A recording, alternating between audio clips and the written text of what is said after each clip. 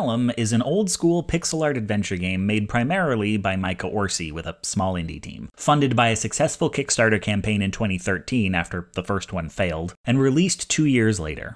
Dropsy is an old school pixel art adventure game made primarily by Jay Tholen with a small indie team funded by a successful Kickstarter campaign in 2013 after the first one failed and released two years later. They came out four months apart.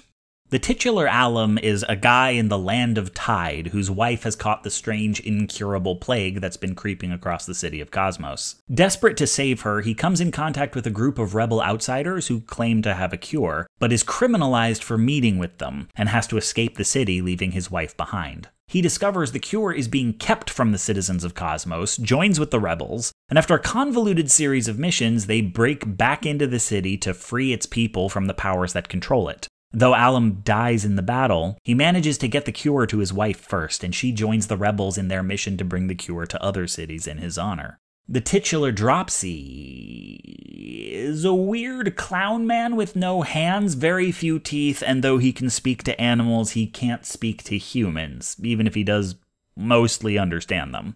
One day his dad takes sick, and having no money for medical care and not many friends because everybody thinks he's creepy, Dropsy shall we say, acquires a miracle pill from a local factory, drawing the attention of the company CEO. CEO decides to help out Dropsy's dad, give Dropsy a job, let Dropsy headline a new circus show. But psych! It was all a trick. CEO and Dropsy are actually long lost brothers, and they're both aliens who landed on Earth as babies, and CEO steals the pod Dropsy landed in to open a portal back home. Dropsy follows him there, gets shot, but then is rescued by a spaceship with his birth mom on it. So, aside from the obvious, what do these two games have to do with each other? Well, sorry for burying the lead, but they're both, um, they're both about Jesus? So, this is stepping outside of my wheelhouse because though I was raised Methodist, I am no longer religious. Like, at all. And any opinion I express on how these games tangle with Christianity can probably be written off with, well, you're not a believer, which, fair enough. But I am fascinated by religion, and I do find it meaningful even in my non participatory way. And I spent some time talking these two games over with my friend Eileen, who's a really cool reverend. So I kind of want to look from an outside perspective on how two games in the same genre, from similar developers with similar backgrounds about very similar subjects, can have two wildly different ideas about what loving Jesus means. So, the disease Alum's wife Esther has caught isn't a physical ailment, it's a psychological emptiness. People stop talking, stop participating, stop caring about life. They call it the vague. And the cure Alum finds comes in the form of a rushlight, a liquid filled pendant this monk dude named Symmetry lends him. And after drinking from it, Alum communes with an omniscient being of light and love who fills his heart with peace. Like you do and is now vaccinated against the vague and given his own rushlight, which he may allow others to drink from. So the cure to the vague is God, or the unfeigned altruist. And the ruler of Cosmos has made a pact with this universe's version of the devil to keep rushlights out of the city. So the plot is about the rebels' quest to bring God to the people of Cosmos. Design is 90s classical, inventory puzzles, and fetch quests. There's a part where you need to collect a shield that's part of this controller because in this game you pilot an ancient mech for Jesus. And this girl knows she has it, but her brother's the one who knows where it is, and he's been captured by an ice giant, so you solve this puzzle where you use artificial wings to leap into the giant's pouch and free the brother from a magical cage by reciting the incantation you learned from getting the giant drunk, and then you escape through a hole you opened by pulling a loose thread, and then the brother gives you the shield. Adventure games. There's also arcade sequences and cheap deaths, so it's clearly made by Sierra fans. And the religiosity is everywhere. Aside from the obvious plot bits, the rebels are called the Rogations, and the mech is called the Dunamis, and it resides at Mount Hesed. It's not subtle. So it's a little weird that, near as I can tell, nowhere in the Kickstarter, the marketing, or the smattering of articles and interviews did Micah Orsi ever mention he was making a religious game. A dropsy doesn't pitch itself as religious either, but it feels a lot less tricksy about it where Alum is very much a Christian game, Dropsy is more a game made by a Christian. There are Christian themes, and certainly the ending where Dropsy is publicly brought low, dies, and then ascends is pretty on the nose, but it's at least as much a riff on Superman as it is on Jesus. Now, Superman is already kind of Jesus y, being a messianic figure who descends from the heavens but is raised as a man, and writers have never been above pointing this out. But Dropsy's central hook is what if Superman, but powerless? Like, what if the man from space landed outside a circus instead of a farmhouse and was brought up as this creepy clown guy who talks to squirrels? Not a savior, no superpowers, but embodying the same pre Snyder kindness and goodness of Superman. Now, choosing to focus on Jesus the man as opposed to Jesus the Son of God is kind of like saying Clark Kent is more interesting than Superman, but whatever, it worked for Lord Andy. And Dropsy is just good. He's a good dude. Most of the gameplay is finding people who are unhappy and figuring out what would make them feel better. This can be as simple as giving a girl a flower or a guy a rare album, or as meaningful as reuniting estranged family members or getting a pastor to open a shelter for the homeless. And what's interesting is most of these things don't actually advance the plot. Some of them do and some of them don't, and you don't know which is which. Sometimes you get a plot critical inventory object. Mostly you just get a hug. Uh, yeah, by the way, this is a game where one of your dedicated verbs is hug. You hug people, you hug animals, you hug inanimate objects. And you can read Christianity into that as well. Dropsy heals people by putting his hands on them, or his arms. But I like that Dropsy doesn't hug anyone before they want to be hugged, and if they're not huggers, he's happy to fist bump or just wig out with them if that's their speed. Now, adventure game puzzles tend to be very transactional. Like most adventure games, you do a lot of good turns for people, but it's always to get something in return, even when you don't know what. There's a reason pirates and outlaws make for good adventure game protagonists. Mechanically, doing a favor in exchange for an inventory item and stealing the item are the same thing. Except in cases where the narrative expressly questions the ethics of your behavior, anything that advances the plot is good, or at least morally neutral. It's solving a puzzle, it's progressing towards the win state. There was this bit in Kathy Rain that required me to taser a homeless man, the ethics of which were never questioned, and it was a pretty clever puzzle solution, but also, what the flip, Kathy?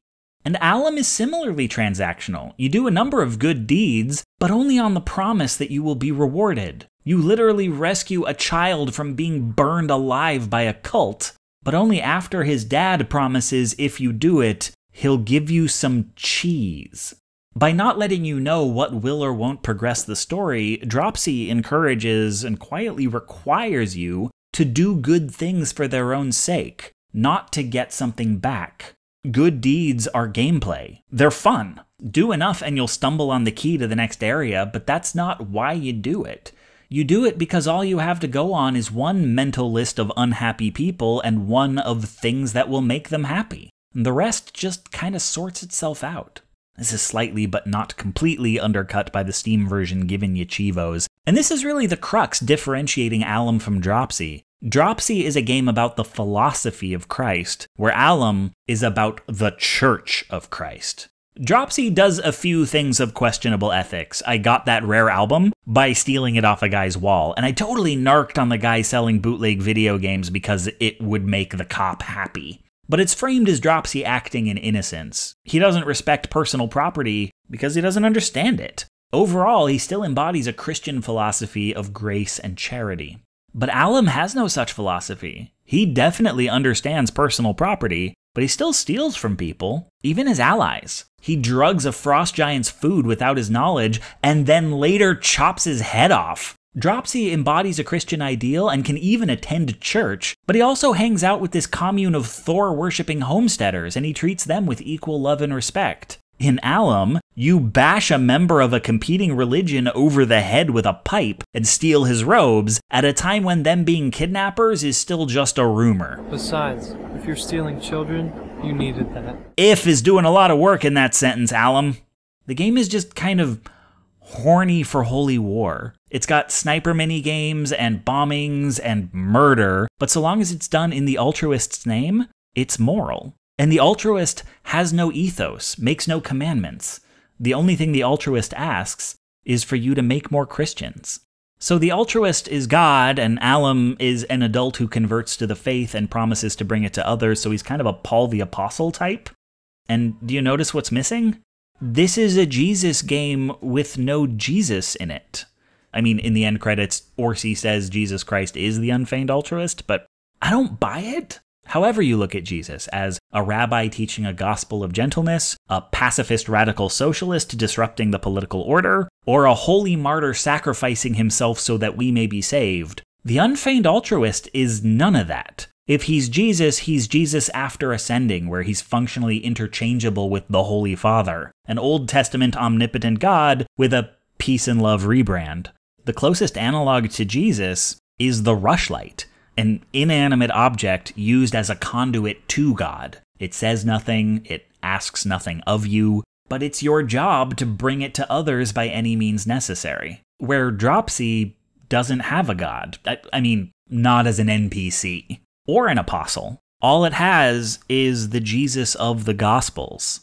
And that's only kind of accurate. Despite the parallels, Dropsy is less a stand in for Jesus than a man following Jesus' path, even if he's not aware that's what he's doing. With the makeup and general oddness, he's kind of a holy fool, or a cast member in Godspell. Now I'm heaping praise on the one and criticizing the other, but I don't want to be too one sided here. I think there are limits to Dropsy's philosophy that the game doesn't really tangle with, and while I don't agree with the perspective of Alum, the feeling that the world is going to heck and that it's a moral imperative to spread the philosophy that can help, yeah, I get it.